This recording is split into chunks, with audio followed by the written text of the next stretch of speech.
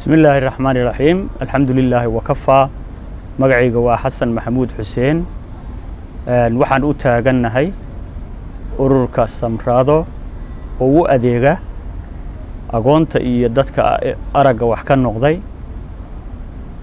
Waxaan u mahad celinayaa oo aan rabaa inaan halkan uga mahad celiyo s n t v iyo dhammaan daawadayaasha. Intaa ka bacdi waxaan rabaa inaan taariikhdayda wax yar idinkaga sheego aniga hadda waxba ma arko alxamdu lilaah laakiin kuma dhalanin. Qadartan arag la'aanta ah waxay noqotay mid dib damba ka timid.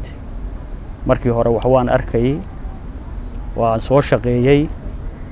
Kabacdina qadartana igu timid oo aragga waa tegey kadibna waxaan imid dhulkan aan hadda ku nool nahay oo maanta waxaan joognaa olombos colombos ohio maraykanka. Halkaanaan iskuul ka bilaabay. Kabacdi ku dhameeyey iskuulkaasi macnihiis wuxuu ahaa marka iskuul ay dadka aan waxba arkin ku bartaan siday wax u qabsan lahaayeen oo ay dadka u dhexgeli lahaayeen oo qofku noloshiisa uu u kaafin lahaa. Hadday tahay soo u socon lahaa hadday tahay soo gaadiidka u raaci lahaa hadday tahay siduu ugu soco lahaa ushaan cad oo aan gacanta ku hayo hadday tahay sidii uu dharkiisa u dhaqan lahaa cuntadiisa u karsan lahaa wax u qoran lahaa wax u akhrisan lahaa. Sidaas daraaddeed markii aan iskuulkii dhammeeyey waxaan macnaha maskaxdayda aada ugu weynaatay oo ku jirtay in aan dadkii anigoo kale ahaa ee dhulkii ku noolaa ay helaan noloshan oo kale ama qaabkan aan annaga wax u barannay dadka halkan joogo oo kale. Saa darteed rag kaleento nin dhintay allaha u naxariistee iyo nin hadda garabkayga midiga fadhiyo iyo aniga waxaan goosannay inaan bilowno oo aan u dhaqdhaqaaqno dadka sidaydoo kale aragga ka tegey iyo agoonta. Ama kuwa isugu jiro arag la'aanta iyo agoontu ay isku qabatay. Saa daraaddeed wixii aan qabannay kolley waa la soo bandhigi doonaa. Ayadana marka noloshu waxay tahay waxaa noo soo baxday qofka haddii laga shaqeeyo oo wakhti la geliyo oo lagu dadaalo inuu wax badan qabsan karo. Asagoo faraxsan weliba oo bulshadii ka mid ah. Taasaa waxay nagu dhalisay marka inaan adeegan u samayno xarunta daryeelka aragga iyo agoonta oo ka furan soomaaliya halkaana ka diiwaan gashan ama dhammaan adduunkaba maaragtay international ah. Saas darteed waxaan jeclaan lahaa oo aan aada u jeclahay daawadayaasheenna faraha badan oo soomaalidu ay u badan yihiin inaan halkan uga mahad celiyo dad badan oo na garab istaagay oo hawshaas gacan ka geystay khayr badan allaha siiyo iyo dad hadda maanta laga yaabo inay ugu horrayso muuqaalkeenna iyo codkeenna labadaba. Saa daraaddeed waxaan idin leeyahay daawadayaal meel kastoo aad joogtaan dacallada adduunka waa idiin mahad celinaynaa waana ku faraxsannahay daawadashadiinna inaad nagala qayb qaadataan ilmahaas oo agoon ah oo qaarkoodna araggina ka maqan yahay haddana agoonnima ay ugu dheer tahay. Saa daraaddeed waxaan idin leeyahay waa xasan maxamuud oo idin leh aad iyo aad baad u mahadsan tihiin. Wabilaahi towfiiq wsala allaahuma calaa sayidina moxamed wacalaa aalihi wasaxbihi wasalim eh, bismi illahi raxmaan raxiim eh, magacayga waa mukhtaar macalin daahir. Eh, runtii waxaan rabaa inaan u mahad celiyo marka koowaad. Idaacadda oo national t v ama somali national t v inaan u mahad celiyaan rabaa iyo walaasheen deeqa oo runtii maanta nagu soo booqatay halkan aan joogno columbus ohio. Waxaan rabaa inaan ana u hadlahaya ku hadlahaya magaca hay'adda samaraado waxaan rabaa inaan soo gudbiyo waxqabadka hay'adda iyo soo far intaan qabanay. Hay'addaasi samaraado waxay u taagan tahay dadka maaragtay aragga waayey oo isla markaa haddana ah dad oo agoon ah. Hay'adda waxaa la aasaasay kun sagaal two thousand fourteenki ayaa la aasaasay. Markaa kadib waxaan sameynay annagoo joogna magaalada minnesota inaan arrintaas markaan ogaanay baahida inay jirto. Annagoo saddexa inaan soomaaliya u safaray soomaaliya tagnay sahan aan samaynay. Dadkaas noocaasa aan ogaanay inay yihiin dad oo la iloobay oo runtii dhibaato badan qabo. Kulanka ugu horreeyey lixdan cunug oo waxba ujeedin oo agoona ayaan ururinay. Saacadahan lagu hadlo oo baleerka oo maaragtay taabashada lagu garto luuqadda baleelka qof kasta u yaqaano ayaan ayaan maaragtay ayaan ururinay. Waan ka qaadnay gobolka minnesota oon geynay magaalada xamar. Kadib waxaan ogaanay inay baahidu ay badan tahay ay jiraan dadkaasoo kale oo boqolaal boqolaal ay jiraan. Soomaaliya anigu markaasa waxaan goosanay dadkaas inaan xoogga saara inaan wax u qabano waxaan is leeyahay waxaan u maleynayaa arrintaasi waxay ka timid ilhaan inuu ilaahay nagu ilhaamiyey inaan arrintaa u istaagno. Runtii dadkii markaan dhex galnay waxaan ilaahay noo fududeeyey inaan samayno maaragtay cam aan dhisno. Meel cam oo maaragtay ku jiraan isugu jiraan ischool oo lagu talagalay ilmaha oo baleelka ay wax ku bartaan oo ka kooban maaragtay toddoba fasal iyo lix musqulood iyo iyo iskuol kale oo isla meesha isagan ah oo kaam ku dhex jira oo maaragtay aan ugu talagalay taxfiida qur'aanka ah. Kadib adiga dadaal kadib haddana waxaan ku daray inaan ceel ku daro riiga aan u samayno aan u qodno almost maaragtay waxaan umeynayaa waxaa ku baxday lacag aad fara badan toddobaatan kun ku dhow. Kadib haddana waxaan samaynay meeshii jikadii ilmaha ku cuni lahaayeen. Ayaan samaynay ma aragtay waxaan is leeyahay hawshaas waa hawl aad iyo aad u baaxad weyn oo maaragtay u baahan in la isugu tago. Ma aragtay magaalada aan joogno ee gobolka minnesota aan maaragtay aan degannahay ee uu ku yaallo maaragtay meesha heerka waararka ama xafiiska uu ku yaallo oo hay'addaas ay ka bilaabatay fikradda ugu horreysay. Waxaan is leeyahay dadka gobolka jooga minnesota aad iyo aad iyo aad iyo aad bay u soo dhoweeyeen kadib haddana shirarkii waaweynaa ka dhacay meesha markaan u bandhignay waxaan is leeyahay ay soo dhoweeyeen culimada iyo communitigeennaba runtii waxaan leeyahay maaragtay way nala qaateen. Noorda america oo dhan ay u gudubtay fikraddii marka waxaan leeyahay arrintaas oo maaragtay in dadkaas loo istaago. Sida waddamada aan joogno oo kale markaad fiiriso dadkaasi waa dad la mid ah qofka kale ee bini aadanka ah si u nool yahay inay u noolaadaan. Marka annaga waxaan u soconnaa dadkaas inay xuquuq ku yeeshaan waddanka soomaaliya dadkaas in ay xaqooda helaan inay sida dadka kale oo kale ay mataqaanaa access u yeeshaan guryahay degan yihiin in mataqaanaa waddooyinkoodii say u socon lahaayeen say mataqana wax u baran lahaayeen ayaan maaragtay hawshaas u ayaan u istaagnay hawshaas marka waxaan is leeyahay meel fiican baan maraynaa laakiin waxaan sheegayaa inay tahay arrintaas arrintaas inay tahay arrin aan ku filayn keliya annagoo aan wadno annagoo intii aan awoodno waan soo qabannay waxaan ka codsanaynaa bulshooyinta soomaaliyeed meel kasta ay joogaan iyo qof kasta oo maaragtay oo oo bini aadan ah oo arrintaas oo maqalkaas daawada inuu arrintaas na garab istaago wax nagala qabto oo maaragtay haddana ay tahay arrintaan u soconno oo aan joogno columbus ohio oo aan joogno maaragtay oon u soo safarray safarkan safar ka horreeyana aan joognay magaalada boston oon iyadoo arrintaas u soconnay. Marka waxaan rajaynaynaa arrintaas inay masajkaasi inuu meelo badan gaadho. Saddex boqol iyo laba cunug ayaa santarkaas yaa maaragtay hadda ku jira oo cuntadoodii iyo mataqaana waxbarashadoodii aan maaragtay annaga dusha iska saaray.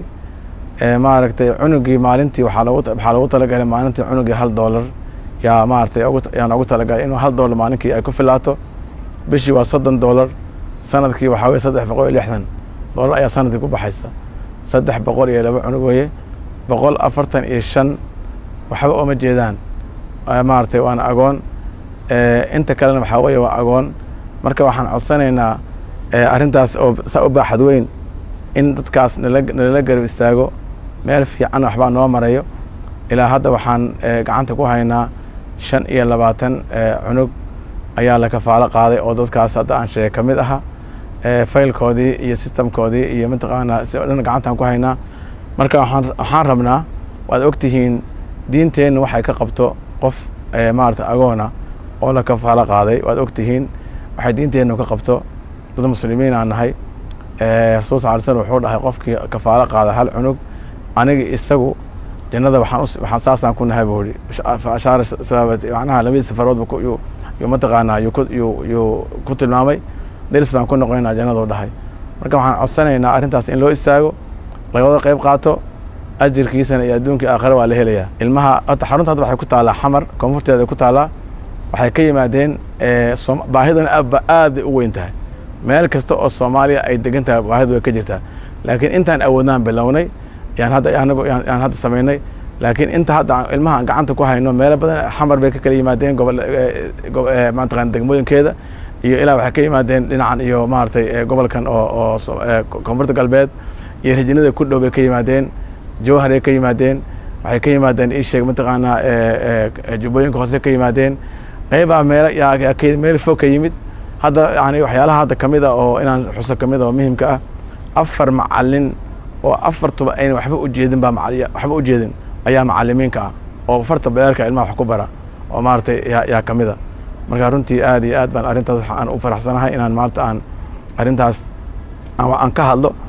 Waxaana rabnaa waxaana arrintaas inay socoto oyna ku ekaanin meesha keliya aan joogno inaan sii wadno soomaaliyana ay gaadho aan gaadhsiino dadka oo marataqaanaa oo indhagaradka ah ee soomaalida ah ee maaragtay u danqada dadka noocaasa oo dhan inaan gaadhsiino nala qaataan marjaheyna sida dadka hadda nabadda america oo dhan arrinta ay noola qaateen. Waxaa weeye markii hore lama aqooninba waalidiintu way quusteen ilmahan maba aaminsaninba ilmahan inuu mataqaanaa uu dad u iman karaan wax qaban karaan. Annagaa marka hore fikradda bilownay annagaa raadinay. Fikradda markii oo walaalkay xasan maxamuud xuseen oo nin macallin ahaa jiray soomaaliya waagii hore kadib arrintaas mataqana ay ku dhacday soo weyn ku dhacday. Oon isku baranay waddankan ee maraykanka fikraddii aan wada qaadanay ayaa nagu dhacday mataqana fikraddii nagu dhalatay inaan aadno oon raadino lixdan cunug baan ururinay dadkii markay arkeen inaan ilmihii ururinayno oon santarkii u samaynay ayaa waalidiintii ayay mataqaanaa soo raadiyeen ilmihii igaaba keenahaya.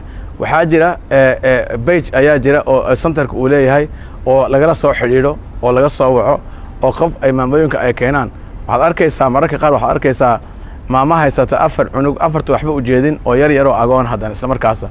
Marka runtii waa arrin arrin aad iyo aad u xanuun badan weeye arrintaas. Bismi illaah alxamdu lilaah uma asalaatu wasalaamu calaa nabiyina moxamed wacalaa aalihi wa asxaabihi ajmaciin.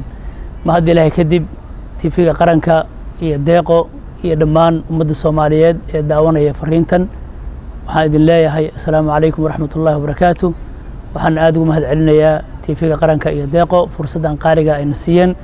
Walaalayaal waxaan rabaa inaan ku kabo walaalihii iga horreeyey xasan iyo mukhtaar organisationka ay ka hadleen oo la yidhaahdo xaruntiisa muqdisho xarunta daryeel xarunta daryeelka aragga iyo agoonta.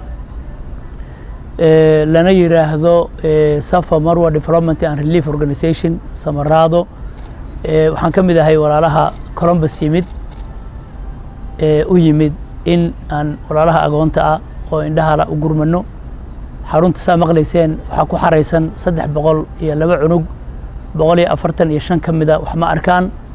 Agoonna waa ku jirtaa qaarna waxaa u dheer naafannimo kale. Inta kale oo boqol iyo konton iyo shanana waa dad agoona. Walaaluhusay ii sheegeen waa shan jir ilaa shan iyo toban jir waa intii ay qaban kareen ee agoonta joogta aad iyo aad bay runtii u badan yihiin. Innagana daryeel naga sugayaan. Walaalaha markay noo yimaadeen haddaan nahay ayaana jamciyadda islaamiga waqooyiga america barnaamijkii aan fursad siinay aan ku dhegaysano ay noo soo bandhigeen. Aad buu qulubteeda u taabtay aad buu u gelgelay. Runtiina waxaan go'aansanay inaan garab istaagno oo la gurmano oo wixii aan la qaban karno aan la qabanno. Hadda bishaan dhowr safar baan la galay si aan agoonta ugu gurmano maxaa yeeley walaalayaal waxaynu ognahay in dalkeennu uu ka soo kabanayo duruufo inoo gaar ahaa oo colaado iyo dhibaatooyin iyo ma aragtay howlo fara badan ay jireen. Dadka tabarta daranna inay yihiin dadka ugu nugul bulshadeenna mar walba. Ilaa haddana aysan jirin cid u xil qabta ama inaysan helaynin tababarkii iyo noloshooda say u maarayn lahaayeen. Walaal xasan saad la socotaan wuu idinla hadlay xasan wuxuu ah nin mutacalima waxbartay wasaaradda waxbarashada soomaaliya ka shaqayn jiray iskuullada qaar maamulo ka ahaa. Qadar rabbi baa ku dhacday. Ilahi subxana watacala indhihiisa wuu ka qaaday. Ilahi waxaan ka baryayna inuu janno ugu bedelo waa nin dulqaad iyo iimaan uu ka muuqdo aqoon leh dhisan xaqiiqatan. Aan waxaan is leeyahay waa xigmad ilaahay. Ilahay wax walba xigmad buu ka leeyahay. Qofka bini aadamka waa la imtixaamaa si ilaahay subxana watacaala darajaad u siiyo si ilaahay dembigiisa u dhaafo si ilaahay jannada boosweyn uga siiyo si ilaahay subxana watacaala ummad kale ugu anfaco. Xasan oo aan waxba arkaynin laakiin qalbiga wax ka arka basarkaa ka maqan laakiin basiirada leh oo quluubtiisa wax uga jeeda iyo walaalaha kale ee xaruntan aas-aasay waxay inoo diraysaa fariin iyo massage oo ah mas'uuliyadda walaalkan xasan uu dareemay innagu xaggeen ka taagannahay maxay tahay mas'uuliyaddeenna walaalkeen isagoo macduura oon waxba u jeedinin ayuu safrayaa. Hadda wuxuu nala joogaa ohio laba wiik waxaan joognay boston wuxuu tegay kuwait wuxuu tagaa soomaaliya gobollo kale aan ka ballansannahay wuxuu u socdo isagu deegaanna waa haystaa tababarna waa qaatay noloshiisana waa haystaa. Dad caruura oo agoona oo indhala oo soomaaliya jooga in gurmud iyo gargaar la gaarsiiyo. Arrintaasi waa arrin fariin ah. Qof walba oo massajkan maqlayana fariin ku ah waa fariin nool oon walaalkii xasan aan ka qaadan karayno. Waxaan rabaa marka inaan idin iraahdo walaalayaal nabiga calayh salatu wasalaam waxaa ka sugan sida abudarda uu warinayo. Wuxuu leeyahay ataa rajulun ila nebi sal slam yashku qalbah nin baa nabiga calayh salatu wasalaam u yimid ninkaasina qalbigiisu ka sheeganayay. Yacni qalbi ingeg buu ka sheeganayay. Qalbigiisu ma dabacsaneen. Wuxuu yihi rasuulku ilah dhibaatadaas ay haysataa. Nebigu wuxuu yihi calayh salaatu wasalaam atuxibu an yaliina qalbuka wa tutrika xaajatak. Ma jeceshaha in qalbigaagu uu kuu jilco oo ilahi subxana wa tacaala qalbiga kuu jilcsayo si iimaankaagu u koro si cibaadadu kugu fududaato si qalbi engeyga aad dareemaysa uu kaaga tago. Wuxuu yihi nebigu calayh salaatu wasalaam irxam ilyatiima ra'sahu wa atcimhu min طacaamik yalin qalbuk wa tutrik xaajatak xadiiska nebiga alayh salatu slam wuxuu leeyahay haddii aad rabto in qulubta kuu jilcdo ilaahayna umuurahaaga iyo danahaaga kuu sahlo isugu kaa aadiyo agoon u naxariiso madaxana u masax cuntadaadana wax ka sii qalbigaagu wuu jilci ilaahayna danahaagu kuu qumin umuurahaaga ilaahay subxaana wa tacala kuu sahlayaa walaalayaal waa xadiis aad muhiim ah.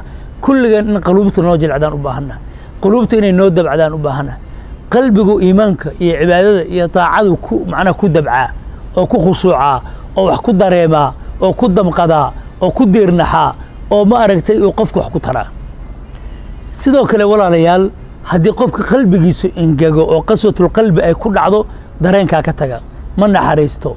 Xumaanta iyo macaasida ayaa la fududaata marka wuxuu leeyahy nebiga alayh isalatu wasalaam agoon u naxariiso madaxana u masax. Madaxa u masax agoonka waalidkii dhintay. Agoon waxaa la yidhahdaa qofka aabbihii waaye ama hooyadii waaye ama labadaba waaye qofkaas oo ka yar xilligii qaangaarka oon da'dii qaangaarka gaarin ayaa agoon la yidhaahdaa ilmaha agoonka ahi tusaale ahaan marka aabbayaasha carruurta kaxeeyaan oo baabuurta ku qaadaan oo meelaha lagu ciyaaro geeyaan oo makhaayadaha geeyaan oo ay ku soo ordayaan oo wax ka qaadanayaan oo telefoon ka qaadanayaan oo cunuga agoonka ah uu u jeedo isagoon aabbihii la socon fursaddaa aan haysan qalbiga xanuunaya. Dhimashada aabihiiba soo xanuunsanaya soo xasuusanaya. Wuxuu leeyahay nebiga alay slat slam marka madaxa u masax. Macnaha naxariistus xanaantus. Madaxa u maslax u masax oo u damqo oo hagsi oo dhunko oo cuntada wax ka sii oo yacni carruurta ma aragtay la fadhiiso oo wax la cun. Intaa keliya ma aha qalbigaaguna wuu jilcayaa dantaadana waa lagu quminayaa. Sidoo kale nebiga alayh slat slam wuxuu leeyahay ana wakaafilu lyatiimi fi ljannati haakada aniga iyo qofka agoon kafaalo qaada oo agoon damiin u noqda noloshiisa. Yani wuxuu ku noolaan lahaa yidhahda ana mas'uul anaa mas'uulka ah. Qofkaasi jannada saas ugula noqonaya nebiga alayh salatu slam labadaa farood ayuu isu dhoweeyey. Aadna uma kala kaxayn aadna isuguma dhoweyn. Sidaasuu ku tilmaamay. Macnaa aniga qofkaasi jannada intaasaan u jirsanaynaa ayuu leeyahay rasuulku. Ilahi subxana wa tacaala in badan buu qur'aanka agoonta uga hadlay. Inaan la guulguulin in loo naxariisto in cuntada wax laga siiyo in macnaha lala fariisto oo maaragtay maaragtay wax lala cuno. Aad baa qur'aanka looga looga hadlay. Markii ilaahi subxana wa tacaala ay saxaabadu ay nabiga weydiyen ilahay uu ka jawaabay marka walaalayaal ilahi subxana wa tacala wuxuu leeyahay wacbud اllah walaa tushrikuu bihi shayئa wabilwaalidayni ixsaana wabidi lqurba walyataama walmasaakiin ilaahay keliga caabuda. Shirkina hala imaanina. Oo kayrkiis cibaadada xaqoola waxbaa ka siinina. Waalidka u samafala qaraabadana u samafala agoontana u samafala masaakiintana u samafala. Ilaahay baa isku xiro wuu isdaba dhigay. Waxaa lagu aadiyey aayaddaas cibaadadii baa lagu xejiyey wacbud ullaha walaa tushrikuu bihi shay-an u fiirso. Towxiidkii baa waxaa lagu xejiyey samafalkii iyo waxtarkii waalidka iyo agoonta iyo masaakiinta iyo qaraabada. Waxaan leeyahay marka cunuga agoonka ah hal doolar baa maalinta ku filan. In badanoo naga mida doolara waa awoodnaa ama soomaaliya joog ama maraykan joog ama a- macnaha africa qaybaheeda kale joog ama yurub joog hal doolar baa ku filan. Bishii oo dhan waa saddex boqol iyo lixdan doolar xarunta waxaa la dhisay eh, dhowr sano. Waa dhismo aad u weyn. Wuxuu yahay rajada la qabo in laga sameeyo deegaan. Caruurta hadda waa la keenaa baabuur baa lagu soo daldalaa waa la celiyaa. Waxaa la rajaynayaa in kuwo badan deegaan u noqoto. Waxaa la camal qabaa in clinic indhaha ah laga sameeyo. Dadka indhaha ka xanuunsan xanuuno fara badan baa jira. Xataa iyagoo indhala bay daawo u baahan yihiin. In la fiiriyo u baahan yihiin. Qaar baa laga yaabaa in indhahooda ay wax yar qabaan. Ayaa dhici karta oo maaragtay ay dhakhaatiir u baahan yihiin. Qorshaheennu waxa weeye marka xataa in clinic laga sameeyo isbitaal xataa in loo sameeyo in barnaamij ay ku noolaadaan oo wax ka helaan xataa in loo sameeyo. Walaal marka hal doolar waad awoodaa inaad cunuga miskiinka oo agoonka aad siiso. Waxaa kaloo qorshuhu yahay xaruntan xamar markaa caga dhigato inaan gobollada kala geyno ee soomaaliya magaalo walba ee weyn ee population weyn ku nariya soomaaliya ku taalla kumanaan agoon iyo indhoolayaal ayaa jooga curyaamiin baa joogta. Cid u maqana male kulligan innagayna sugayaan. Halkan waa xaruntii laga bilaabay laakiin insha allahu tacala waxaan rajaynaynaa inaan furuuc ka samayno ama qaybo kale magaalooyinka waaweyn ee soomaaliya sida hadba ay duruuftu noqoto. Marka waxaan idinka rajaynaynaa sakawaadkiina ku bixin kartaan waa dadkii sakawaadka ilahi subxaana wa tacaala ugu talagalay ee masaakiinta ahaa wey oo agoonta ahaa wey nabiga alayh salatu slam xadiis kale ka sugan qofka araamisha dumarka macnaha laga dhintay iyo agoonta iyo masaakiinta wax taraya wuxuu la mid yahay qofka ilaahay dartii u jihaadaya oo jihaad fii sabiili illahi aadaya oo naftiisa iyo maalkiisa bixinaya. Iyo midka habeenkii oo dhan taagan oo aan nasanaynin iyo midka maalintii oo dhan aan sooman ayuu la ajar yahay qofka masaakiinta iyo agoonta iyo araamisha wax walaalayaal ajar aad u weyn baa ku soo arooray.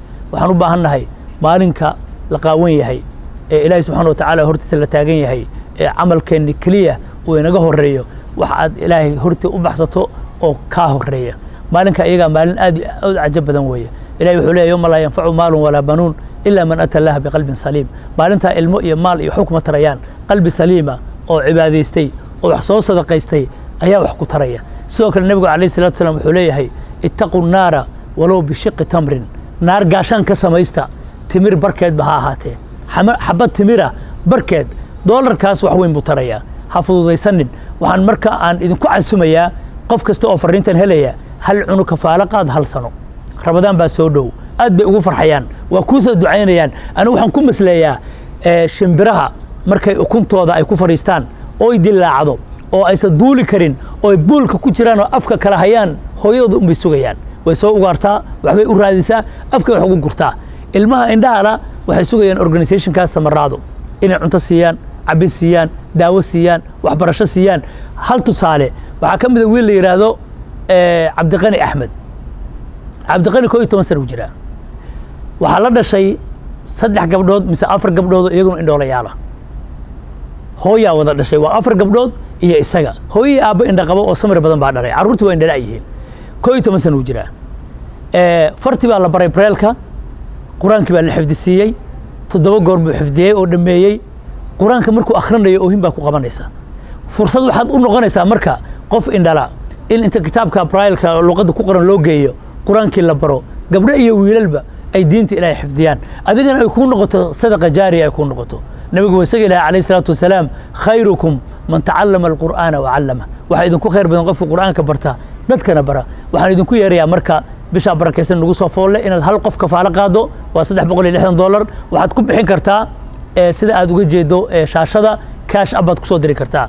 Waa safa o r g amase website-ka ayaad geli kartaa samarado dhat o r g ama telefoonka hoos ku qoran ayaad wici kartaa. Waxaad la soo xiriiri kartaa howlwadeennada ee organisation ka shaqaynaya. Ilahi subxaana wa tacaala ha ku fududeeyo. Ilahay indhaha kaama tiro indhaha qalbigana kaama tiro. Awlaaddana ha kuu xifdiyo. Awlaaddiinana ilahi subxaana wa tacaala agoon kama dhigon ilahayna waxaan ka baryaynaa camalkan qabanayno inuu aan ilahay darti u qabanno. Ilahayna aan janno uga rabno. Dadka masaakiinta iyo walaalaha u gargaarayno dadkii dhalay iyo iyagana ilahi waxaan ka baryaynaa sabir iyo dulqaad iyo iimaan inuu siiyo. Magaalada columbus wax weyn baa nooga hirgalay. Reer columbus waa salaamaya. Aadna waa ugu mahad celinayaa waxaan tagnay masaajidka abubakar ee westiga ku yaalla jimcadii hore. Labadii khudbaba khudbana waa ka akhrinay.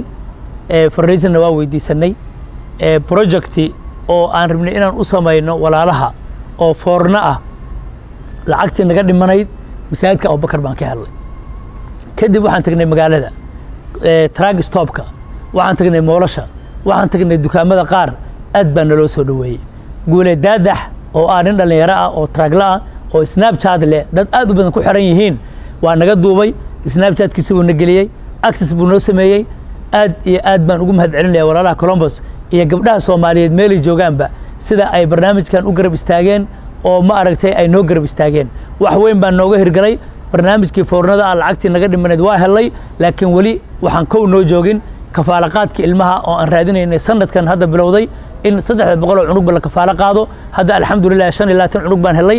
Intii kalea naga dhiman waxaa idinka codsanayaa inaad qayb ka noqotaan. Bismillahi raxmaan raxiim magacayga waa kawsar xirsi muuse degan gobolkan columbus ohio. Waxaan rabaa inaan laba kelmadood ku darsado. Aan barnaamijkan galabtay martida noogu yihiin walaalaheen ee ka socda minnesota ururka samarado oo rabaan inay wax ka qabtaan oo caawiyaan hayadda hay'addaas oo qaabilsan agoonta iyo sidoo kale ilmaha indhala-aanta ah. Walaalayaal wixii laga hadli kara waa laga hadlay lakiin waxaan rabaa inaan idinku bar idinku baraarujiyo oo aan indhaho ka qayb qaataa inaad wax ku darsataan hay'addan oo runtii u taagan inay ilmahaas caawiso. Ilmahaas waxay ku nool yihiin waa soomaaliya soomaaliya waa dalkeeni hooye oo islamarkaas waqti badan burbur ku jiray. Ay sidoo kale dhammaystirneen hay'adaha caawiya dadka duruufaysan marka waxaa loo baahan yahay hay'addan inaan garab siino shaqada aan ku garab siino ay maanta noo qabanayso. Shaqadii maanta aad qaban laheyd ama wixii dreamkahaa maanta aad qaban laheyd hay'addan ayaa kuu fududaynaysa oo rabta inay garab istaagto ilmahaas indhahala sidoo kalena agoonta ah. Haddii aad jeclaan lahayd maanta inaad wax u qabato ilmo agoona ama ilmo indha la'aana aad fursaddaa jeclaan lahayd inaad ka faa'iidaysid inaa hay'addana kuu diyaarisay islamarkaa ku haysa caruuro oo indha la'aana. Marka inaa wixii aad ku darsan kardhid fadlan aad ku darsatid haddii ay tahay hal dollar iyo haddii ay tahay in ka badanba. Sida horena loogu sheegayba maalintii hal dollar waaye wax aada u tiro badan runtii ma aha. Khaasatan reer columbus aada idinla hadlaya oo runtii arrintaas waxaa idinku dhiirigelinayaa inaad ka qayb qaadataan walaalayaal. Waa ogtihiin bil waxaa soo socota barakaysan shahar ramadaan. Qof kasta wuxuu jecel yahay inuu maaragtay wax sadaqaysto.